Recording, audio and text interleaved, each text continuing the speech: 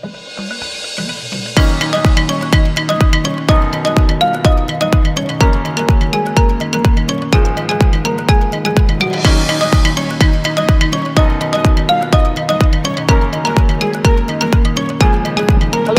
welcome to Abhi's blog আপনারা যারা দূর দূরান্ত থেকে আমার ব্লগটা দেখছেন, তাদের জন্য ধন্যবাদ।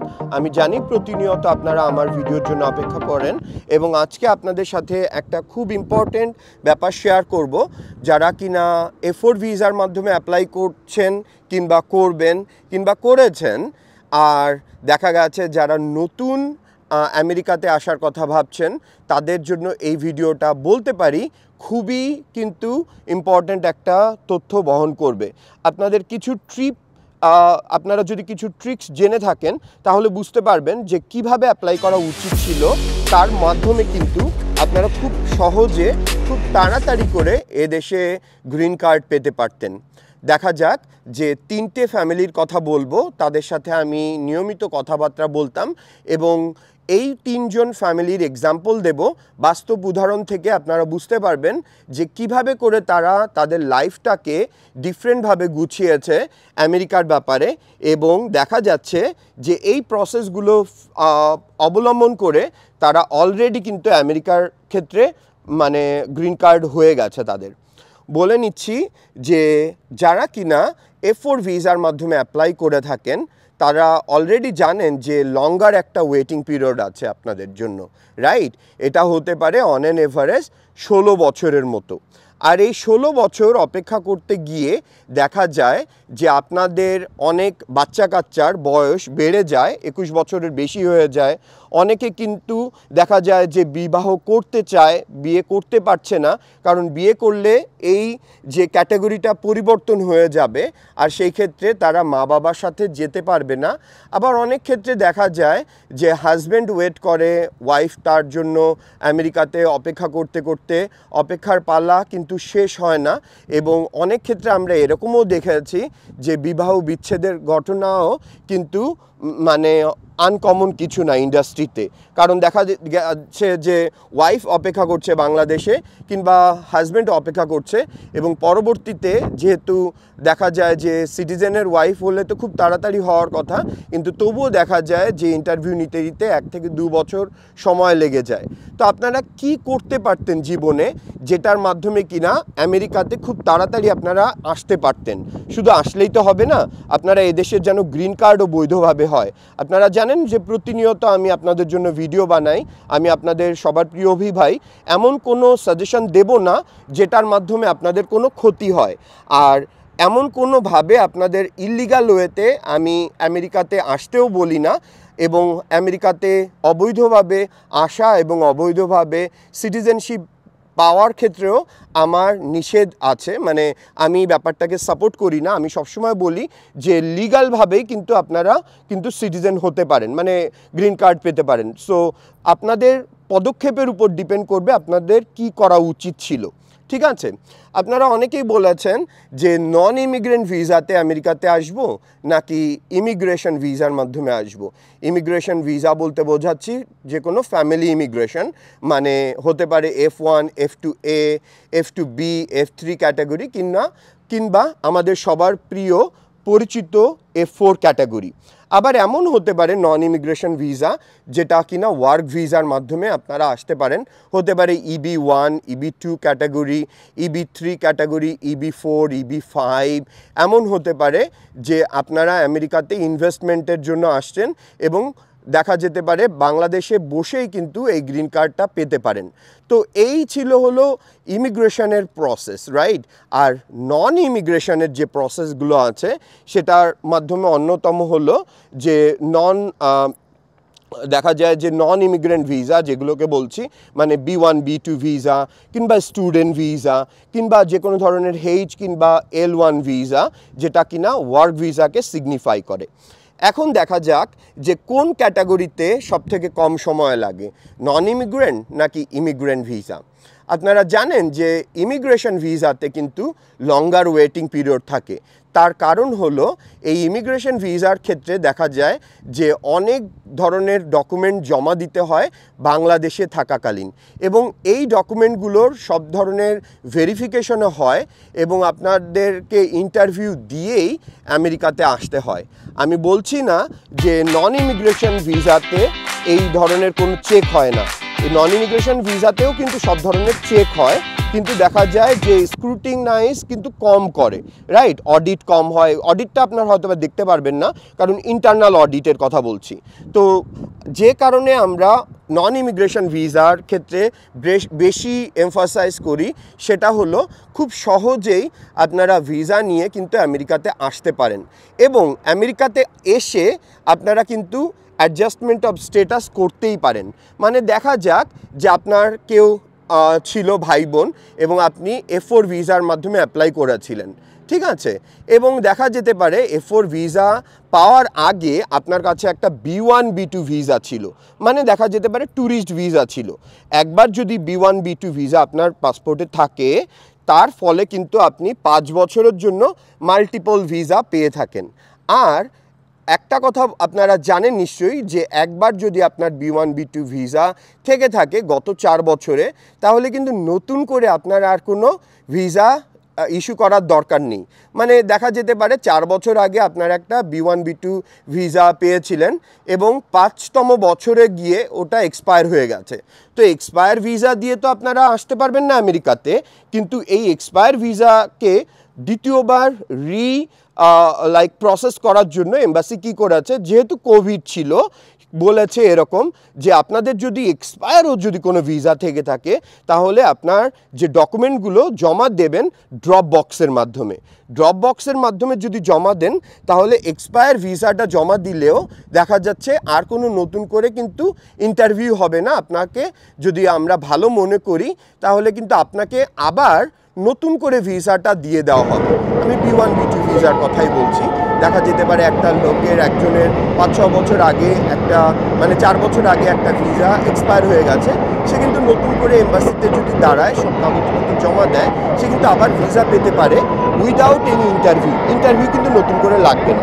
বোঝাতে পারছি? কত সুবিধা দিচ্ছে নন ইমিগ্রেন্ট ভিসাতে রাইট আর যেই বলা হচ্ছে যে ইমিগ্রেশন ভিসার জন্য আপনারা অ্যাপ্লাই করেন, তখন কিন্তু যথেষ্ট পরিমাণে আপনার জন্য চেক দেওয়া হচ্ছে যে এটা আনেন, ওটা আনেন স্পন্সরশিপের কাগজপত্র ঠিক আছে কি না কিংবা আপনার ভাই বোন যারা এ ফোর ভিসাতে অ্যাপ্লাই করেছে, কিংবা আপনার হাজব্যান্ড যিনি আপনার জন্য অ্যাপ্লাই করেছে আইআর ওয়ান সিআর ওয়ান কিংবা দেখা যেতে পারে যে এফ টু এ ক্যাটাগরি সেই ক্ষেত্রে আপনাদেরকে যথেষ্ট পরিমাণ কিন্তু কষ্টসাধ্য সময় পাস করে আমেরিকাতে আসতে হয়, তাই তো? তো বলে রাখি যে কি করলে আপনারা সহজভাবে আসতে পারতেন আমেরিকাতে, সেক্ষেত্রে আমি প্রথম যে ফ্যামিলিটার কথা বলব, সেই ফ্যামিলিটা হলো রেজওয়ান ভাই।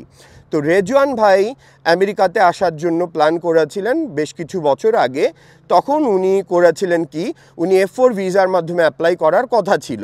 কিন্তু উনি যেহেতু একটা বিজনেস করতেন, উনি করেছিল কি এফ ফোর ভিসাতে অ্যাপ্লাই না করে বি ওয়ান বি টু ভিসার মাধ্যমে অ্যাপ্লাই করেছিল এবং তার পাসপোর্টে একটা বি ওয়ান বি টু মানে ভিজিট ভিসার সিল ছিল। উনি করেছে কি মাল্টিপল টাইম বিভিন্ন সময় আমেরিকাতে ঘুরতে এসছেন, প্রথমবার একা এসছেন, কিন্তু তার পুরো ফ্যামিলিরই কিন্তু B one B two visa ছিল। পরবর্তীতে এই ভদ্রলোক যেহেতু ওনার এ ফোর ভিসার জন্য অ্যাপ্লাই করতেই হবে, উনি পরবর্তীতে এ ফোর ভিসার মাধ্যমে অ্যাপ্লাই করেছিলেন। এই এ ফোর ভিসাতে অ্যাপ্লাই করলে কিন্তু আপনার বি ওয়ান বি টু স্ট্যাটাসের কিন্তু কোনো ধরনের পরিবর্তন হবে না। আপনার পাসপোর্টে স্টিল কিন্তু B one B two visa লাগানোই থাকবে। এতে কিন্তু কোনো ইউএসসিআইএসের কিন্তু কোনো প্রবলেম নেই। বোঝাতে পারছি? উনি যদি এটা না করে, উনি যদি উল্টোটা করত, যেমন এফ ফোর ভিসাতে আগে অ্যাপ্লাই করতেন এবং তারপরে যদি উনি বি ওয়ান বি টু ভিসার জন্য অ্যাপ্লাই করতেন, তাহলে অনেক ক্ষেত্রে ওনাকে ভিসা দেওয়া হতো না। হয়তো বা বলা হতো যে, তুমি তো আমেরিকাতে গিয়ে আর আসবে না অ্যাডজাস্টমেন্ট অফ স্টেটাস করবে, তো তোমাকে B one B two visa দেওয়া হবে না। উনি উল্টোটা করেছিলেন এবং ওনার পাসপোর্টে সবসময় আমেরিকার একটা ভিসা ছিল এবং উনি বহুবার আমেরিকাতে এসেছিলেন এবং দেখা যাচ্ছে যে আমেরিকাতে ভিজিট করে গেছেন, কখনোই ওভারস্টে করেনি। ওভারস্টের কথাটা বলছি যে আপনার আপনি যখন বি ওয়ান, বি টু ভিসাতে আমেরিকাতে আসবেন, তখন আই নাইনটি ফোর একটা হোয়াইট স্লিপ দেওয়া হবে। এই হোয়াইট স্লিপে লেখা থাকবে, এই ট্রিপে আপনি কতদিনের জন্য আমেরিকাতে থাকবেন? এক মাস হতে পারে, এক সপ্তাহ হতে পারে, তিন মাস হতে পারে। কিন্তু ছ মাসের বেশি থাকতে পারবেন না। তো আই নাইনটি ফোরের থেকে বেশি দিন কখনোই ছিলেন না। উনি কোভিডের মধ্যেও দুবার ট্রিপ করে গেছেন। উনি খুবই লাকি মানুষ এবং দেখা গেছে দু দুবার কোভিডের মধ্যে যখন এতগুলো ব্যান্ড ছিল, তখনও উনি আমেরিকাতে ঘুরতে এসেছিলেন এবং দেখা গেছে যে উনি সাকসেসফুলি আবার বাংলাদেশেও ফিরে গেছেন। তো ওনার কথাটা কেন বলছি? উনি আমেরিকাতে ফাইনালি দেখেছেন যে এফ ফোর ভিসার মাধ্যমে যে লঙ্গার ওয়েটিং পিরিয়ড আছে, এর মাধ্যমে ওনার হয়তো বা আরও দশ বারো বছর সময় লেগে যাবে। উনি কি করা শুরু করলেন? উনি বিভিন্ন কোম্পানির সাথে কথা বলে লয়ারের সাথে কথা বলে উনি ওনার কেসটাকে এক্সপার্ডাইট করা শুরু করলেন এবং আমেরিকাতে অবস্থান করেই এই এক্সপার্ডাইটের কাগজপত্রগুলো করেছিলেন।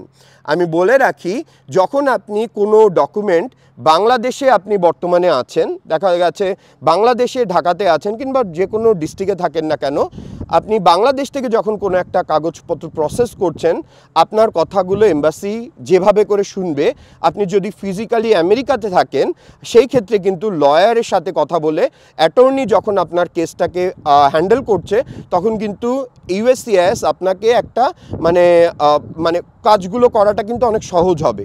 এটা কিন্তু সবাই জানি। আমরা জানি যে একবার আমেরিকাতে আসলে কেউ যদি ভ্যালিড কোনো প্রসেসে এগোয়, তা, তাকে কিন্তু দেখা যাচ্ছে যে প্রসেসগুলো করতে ইউএসসিআইএস সেরকম একটা বাধা দেয় না। অথচ কিন্তু বাংলাদেশে থাকলে তার কিন্তু দেখা যেত যে এ ফোর ভিসার ইন্টারভিউ যে কালে হতো, সেই সেই সময়টা উনি অলরেডি অতদিন ধরে বাংলাদেশে অপেক্ষা করতে পারতেন না। উনি কি করেছিলেন, সে, উনি করে, কি করেছিলেন? শেষবার যখন এসছিলেন, তার ফ্যামিলির মানুষগুলোকে নিয়ে, তার ফ্যামিলিতে দুটো বাচ্চা এবং ওয়াইফকে নিয়ে আমেরিকাতে চলে আসেন এবং এখান থেকে অ্যাটর্নি ধরে মানে অ্যাটর্নি অবভিয়াসলি এই ক্ষেত্রে লাগবে, কারণ আপনি অ্যাডজাস্টমেন্ট অফ স্টেটাস করবেন। এখানে ফিজিক্যালি নিউ ইয়র্কে ছিলেন এবং উনি কি করেছে, অ্যাটর্নি ধরে তার কেসটা এক্সপার্ডাইট করেছেন। এবং এক্সপার্ডাইট করার ফলে উনি যদি এক্সপার্ডাইটটা করতেন বাংলাদেশের ক্ষেত্রে, তাহলে এক্সপার্ডাইট অ্যাপ্রুভ হলে বাংলাদেশে ওনার কিন্তু ইন্টারভিউ দিতে হতো। কিন্তু উনি যেহেতু অলরেডি আমেরিকাতে ছিলেন, ওনাকে একটা আই সেভেন নাইন সেভেনের একটা ফর্ম ধরিয়ে দেওয়া হয়েছিল এবং ওনাকে বলা হয়েছিল এই সব ফিগুলো জমা দিতে মানে যে গ্রিন কার্ডের যেসব ফি জমা দিতে বলা হয়েছিল, উনি এই সব ফি জমা দেবার ফলে উনি সাকসেসফুলি কেসটা উইন করেন। ওনার যে এ ফোর ভিসার যিনি অ্যাপ্লিকেন্ট ছিল মানে স্পন্সর ছিল উনিও যথেষ্ট পরিমাণে সাপোর্ট করেছিলেন এবং দেখা যাচ্ছে যে ওনার গ্রিন কার্ডটা হয়ে গেছে। তো কনগ্রাচুলেশন, রেজওয়ান ভাই, আপনার জন্য শুভকামনা আভিজ ব্লগ থেকে। আপনি নিয়মিত আমার সাথে কথা বলেছেন নিউ ইয়র্কে থাকাকালীন এবং প্রচুর পরিমাণে ইনফরমেশন আপনার থেকেও আমি পেয়েছি, শুধুমাত্র আপনাকে আমি হেল্প করেছি তা না। তবে বলে রাখি যে এ ধরনের কেস কিন্তু খুবই কমন কারণ যখন আপনারা বাংলাদেশে নেই, আমেরিকাতে আছেন, তখন ফাইলটা প্রসেস করাটা একজন অ্যাটর্নির পক্ষে কিন্তু খুবই সহজ হয়ে যায়। তাহলে নিশ্চয়ই আপনাদেরকে প্রথম সাকসেস স্টোরিটা শেয়ার করতে পারলাম, যেটা কিনা আমি নিজে সব কাগজপত্র দেখেছি এবং রেজওয়ান ভাই আমার সাথে অনেক ডকুমেন্ট শেয়ার করে উনি কিন্তু আজকে ইমিগ্রেশন ভিসা পেয়েছেন, কিন্তু ওনার কিন্তু কোনো ইন্টারভিউ দিতে হয়নি। সত্যি কথা বলতে কি, ওনাকে অ্যাডজাস্টমেন্ট অফ স্টেটাস দেওয়া হয়েছে এবং উনি এই ডকুমেন্টগুলো ইউএসসিআইএসে যখন দিয়েছেন, তখন ইউএসসিআইএস থেকে তার জন্য ফিগুলো পে করার ফলে গ্রিন কার্ড ইস্যু করে আছে। তো কনগ্রাচুলেশন রেজন ভাই আপনার জন্য আমার দর্শকদের থেকেও অনেক অনেক শুভকামনা। এরপর যে ফ্যামিলিটার কথা বলছি উনি যথেষ্ট পরিমাণে কনফিউজ ছিলেন। উনি ভাবছিলেন যে ইবি থ্রি ক্যাটাগরি মানে ওয়ার্ক ভিসার জন্য অ্যাপ্লাই করবেন বাংলাদেশের ক্ষেত্রে। আমরা জানি ইবি থ্রি ক্যাটাগরি একটা লঙ্গার প্রসেস মোটামুটি পিডি কারেন্ট হতে দু বছরের বেশি সময় লেগে যায়। তো আমি যে ভাইটার কথা বলছি উনি হলো রফিক ভাই, আমাদের খুব প্রিয়। আমার খুব প্রিয় বলতে পারি। উনি আমার সাথে অনেক ইনফরমেশন শেয়ার করেছেন। অনেক সময় আমি তাকে গাইড করেছি অ্যাটর্নিদের কথা বলেছি যে নিজে নিজে কাজ করলে দেখা যাবে যে দুটো টাকা কম লাগবে, কিন্তু আপনি অ্যাটর্নি নেন। সেই ক্ষেত্রে আপনাদেরকে, আপনাকে অ্যাটর্নি যথেষ্ট পরিমাণে সাপোর্ট দেবে। তো রফিক ভাইয়ের ফ্যামিলির কাহিনীটা একটু শুনে আসি। ঠিক আছে? রফিক ভাইয়ের কোনো ধরনের কোনো আত্মীয় স্বজন ছিল না আমেরিকাতে, যারা কিনা এ ফোর ক্যাটাগরির ক্ষেত্রে ওনার জন্য অ্যাপ্লাই করতে পারবে কেউ ছিল না রফিক ভাইয়ের ক্ষেত্রে। তো রফিক ভাই ভাবছিলেন যে ইবি থ্রি ক্যাটাগরিতে অ্যাপ্লাই করবে, উনি বিভিন্ন ধরনের কোম্পানি খুঁজছিলেন এবং একসময় উনি কিন্তু বি ওয়ান বি টু ভিসার জন্য অ্যাপ্লাই করে তার পাসপোর্টে বি ওয়ান বি টু ভিসাটা ছিল। ঠিক আছে?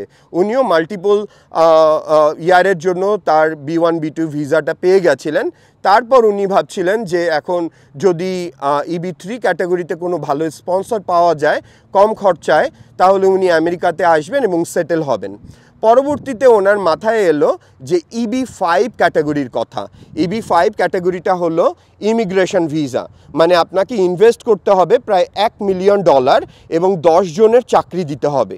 এবং দশ জনের যদি চাকরি দেন, সেই ক্ষেত্রে আপনি কি করতে পারবেন? এই দেশে স্টার্ট আপ বিজনেস মানে একটা কোম্পানি খুলবেন এবং আমেরিকাতে এসে আপনাকে দেখাতে হবে যে আপনার আন্ডারে দশজন এমপ্লয়ি কাজ করছে এবং তাদেরকে আপনি বেতন দিতে পারছেন এবং আপনার যে ইনভেস্টমেন্টের অ্যামাউন্টটা হবে হলো নিয়ার বাই এক মিলিয়ন ডলার এক মিলিয়ন ডলার থেকে একশো হাজার কম হলেও হবে। মানে বর্তমানে অ্যাপ্রুভ করছে নয়শো হাজার ডলার ঠিক আছে? নয়শো হাজার ডলারেও কিন্তু অ্যাপ্রুভ করছে, পুরো এক মিলিয়ন লাগছে না। উনি এটার কথাও ভেবেছিলেন এবং অনেক কাগজপত্র তৈরিও করেছিলেন এটার ব্যাপারে এবং দেশ থেকেই কিন্তু এই কাগজপত্র তৈরি করেছিলেন। পরবর্তীতে ওনার সাথে যখন আমার কথা হয়, আমি ওনাকে বলি একজন অ্যাটর্নি নিতে, ভালো দেখে একজন সলিসিটার নিতে এবং উনি বিভিন্ন সময় আমেরিকাতে আসতেন, আমেরিকার আলো বাতাস দেখে খুবই পছন্দ করতেন এবং ফাইনালি এটা ভেবেছিলেন যে তার কোনো আত্মীয় স্বজন নেই তবুও উনি আমেরিকাতেই থাকবেন, কারণ আমেরিকাই হলো তার আলটিমেট ডেস্টিনি ঠিক আছে? তো বলে রাখি, ওনার কোনো, রফিক ভাইয়ের কিন্তু কোনো ধরনের কোনো সেরকম বন্ধুবান্ধব ছিল, কিন্তু দুঃসম্পর্কের আত্মীয় স্বজন ছিল, কিন্তু এফ ফোর ভিসাতে অ্যাপ্লাই করার মতো কোনো মানুষ ছিল না। তো উনি যেটা করেছিলেন ফাইনালি উনি ইবি ফাইভ ক্যাটাগরির ভূত মাথা থেকে ছাড়লেন। কারণ উনি বলছিলেন যে কোভিডের মাঝখানে যে কোম্পানিগুলো স্টার্ট আপ করাটা অনেক কঠিন হয়ে যাচ্ছে এবং দেখা যাচ্ছে যে ইবি থ্রি ক্যাটাগরিতে কিন্তু অ্যাপ্লাই করাটা অনেক কঠিন হয়ে যাচ্ছে। তো তাকে যে অ্যাটর্নি বলেছিল, আপনি একটা কাজ করেন, আপনি ই টু ভিসার মাধ্যমে কিন্তু অ্যাপ্লাই করেন। মানে প্রথমে বি ওয়ান বি টু ভিসার মাধ্যমে আমেরিকাতে আসেন, যেটা কিনা নন ইমিগ্রেন্ট ভিসা তারপর ই টু মানে ইনভেস্টমেন্ট যে ক্যাটাগরি আছে non immigrant E two category ওটাতে অ্যাপ্লাই করেন। তার ফলে দেখা যাবে আপনাকে স্টার্ট আপ করতে হবে, কিন্তু এরকম কোনো বাধ্যবাধকতা নেই যে আপনার এক মিলিয়ন ডলার কিন্তু ইনভেস্ট করতে হবে কিংবা দশজন মানুষকে আমেরিকাতে এমপ্লয়মেন্ট দিতে হবে। উনি ফাইনালি কি করলেন? উনি ই টু ভিসার মাধ্যমে অ্যাপ্লাই করলেন এবং উনি নর্থ ক্যারোলিনাতে একটা গ্যাস স্টেশন কিনেছিলেন। মানে আপনারা জানেন যে গ্যাস স্টেশন মানে আমরা তেলের যে মানে গাড়ির তেল নেওয়াটাকে এরা, আমরা গ্যাস স্টেশন বলে থাকি। তো উনি একটা গ্যাস স্টেশনে ইনভেস্ট করেছিলেন, ওনার মোটা- মোটামুটি অ্যামাউন্ট লেগেছিল ষাট হাজার ডলার মানে সিক্সটি থাউজেন্ড ডলারের মতো ওনার লেগেছিল এবং উনি দেখালেন যে স্টার্ট আপ উনি বিজনেস করতে চাইছেন আর এই বিজনেসের মাধ্যমে উনি অনেক ধরনের বেনিফিট হবে। এই ব্যাপারগুলো সলিসিটার মানে অ্যাটর্নি দিয়ে উনি কাজগুলো করেছিলেন এবং ফাইনালি ওনার কিন্তু ই টু ভিসা মানে যে কোম্পানি খুলেছিলেন সেটা অ্যাপ্রুভড হয়। ওনার বিজনেসটা পুরনো ছিল মানে উনি নতুন বিজনেস করেননি, উনি পুরনো বিজনেসটাকেই নতুন করে ঢেলে সাজানোর কথা ভেবেছিলেন এবং ওনার ই টু একসেপ্ট হয়। কিন্তু ই টু একসেপ্ট হওয়ার জন্য ওনার কিন্তু বাংলাদেশ থেকে কোনো ধরনের ইন্টারভিউ দিতে হয়নি। উনি অ্যাডজাস্টমেন্ট অফ স্টেটাস করেছেন আমেরিকাতে আসার পর বি ওয়ান বি টু ভিসাতে আসার পর। তো বলে রাখি, যেহেতু ই টু ভিসা কিন্তু ইমিগ্রেশন ভিসা না এটাও কিন্তু একটা নন ইমিগ্রেশন ভিসা কিন্তু এই ই টু ভিসাতে কনভার্ট করার ফলে উনি যে দু বছরের ভিসা পাবেন, সেই দু বছরের ভিসা কিন্তু যথেষ্ট পরিমাণে এক্সটেন্ডেবল এবং উনি পরবর্তীতে উনি এত টাকার মালিক হয়েছেন মানে বিজনেসে ইনভেস্ট করলে যথেষ্ট পরিমাণ টাকা পয়সা হয়, আপনারা জানেন। আমি একটা ধারণা দেই আমি ওনাকে জিজ্ঞাসা করেছিলাম যে পার মাসে আপনার যে ইনভেস্টমেন্টটা করেছেন মানে সিক্স ডলার আপনার পার মাসে কেমন টাকা আপনি পেতে পারেন? উনি আমাকে বলেছিল যে গ্যাস স্টেশনের মাধ্যমে প্রায় এগারো হাজার ডলার উনি কিন্তু প্রফিট পাচ্ছেন প্রত্যেক মাসে। তো ব্যাপারটা শুনে খুব ভালো লাগল যে মানুষটা তো খুবই পরিশ্রমী। উনি যথেষ্ট রেসপেক্টেড মানুষ এবং বয়স্ক মানুষ। তো ওনাকে আমি যথেষ্ট মানে রেসপেক্ট করি এবং রফিক ভাইয়ের সাথে আমি প্রতিনিয়ত কথাও বলি। উনি নর্থ ক্যারোলিনাতে আছেন, উনি নিউ ইয়র্কের বাসিন্দার না। উনি যেটা করেছেন মানে সকাল, বিকাল, দুপুর, রাত্রে নিজের ঘাম ফেলে কিন্তু এই তার বিজনেসটাকে দাঁড় করানোর জন্য চেষ্টা করে যাচ্ছেন এবং যে মুহূর্তে তার E two like E two visa মানে অ্যাপ্রুভ হলো, তখন উনি তার ওয়াইফ এবং তিনটে বাচ্চাকে আমেরিকাতে নিয়ে আসতে পেরেছেন। উনি ফিজিক্যালি যাননি, কিন্তু উনি স্পন্সর করেছিল যে আমার ওয়াইফ এবং বাচ্চা তিনজনকে আনতে হবে এবং তারাও সাকসেসফুলি চলে এসছেন। ওনার ভবিষ্যৎ হলো এদেশের ক্ষেত্রে পরবর্তীতে ওনার যে কোনো ধরনের ইনভেস্টমেন্ট স্টার্ট আপ ক্যাটাগরিতে চলে যাবেন এবং ওনার হয়তোবা গ্রিন কার্ড পেতে মোটামুটি এক থেকে দু বছর সময় লাগবে। এর বেশি সময় লাগতেই পারে না। আর যেহেতু কোনো ধরনের সেরকম ইন্টারভিউ নেবে না, কারণ ইন্টারভিউ তখনই নিতে হয় যখন আপনি নতুন একটা ভিসাতে বাংলাদেশ থেকে আসেন। কিন্তু দেখা যাচ্ছে যে ওনার ওয়াইফের ইন্টারভিউ নিয়েছে, কিন্তু ওনার কিন্তু ইন্টারভিউ ছিল না মানে এম্বাসিতে তো এইভাবে করে কিন্তু উনি অলরেডি নন ইমিগ্রেশন ভিসার মাধ্যমে দু বছরের মধ্যেই কিন্তু আমেরিকাতে চলে এসছেন এবং দেখা যাচ্ছে আর যদি দু বছর থাকেন, ওনার গ্রিন কার্ড হয়ে যাবে প্রসেস অন দ্য প্রসেসে তো এটা একটা ফ্রুট আমি বলতে পারি যে যেহেতু উনি অ্যাটর্নি নিয়েছিলেন এবং আমেরিকাতেই ছিলেন, ওনার ক্ষেত্রে এই ব্যাপারটা খুবই সহজ হয়েছে। আপনাদেরকে এটাই আমি বলব, যে কোনো ভিসাতে অ্যাপ্লাই করার আগে একটু যদি টেকনিক্যালি অ্যাপ্লাই করে থাকেন মানে এফ ফোর ভিসাতে অ্যাপ্লাই করার আগে যদি আপনার একটা বি ওয়ান বি টু থাকে, আপনার জন্য কিন্তু অ্যাডভান্টেজ হবে। আপনারা ফ্রিলি আমেরিকাতে আসতে পারবেন, দেখতে পারবেন আমেরিকা কেমন লাগে। আর এভাবে করে একবার আমেরিকাতে আসলে আপনার কিন্তু অন্য কোনো ভিসাতে, অন্য কোনো ক্যাটাগরিতে মুভ হওয়াটা কিন্তু পানির মতো ব্যাপার। আজকে এ পর্যন্তই, আশা করছি আপনাদেরকে যথেষ্ট পরিমাণ পার্সোনাল এক্সপিরিয়েন্স দিয়ে দিয়ে আপনাদেরকে উদ্বুদ্ধ করতে পেরেছি, যার ফলে আপনারা সঠিক সিদ্ধান্তটা নেবেন এবং আমার প্রতিনিয়ত ভ্লগগুলো দেখে আমাকে আরও ইন্সপায়ার করবেন। গড ব্লেস আমেরিকা একটা লাইক বাটনে ক্লিক করে জানাবেন, কোনো কমেন্ট থাকলে কমেন্ট করবেন। God bless America bye bye for today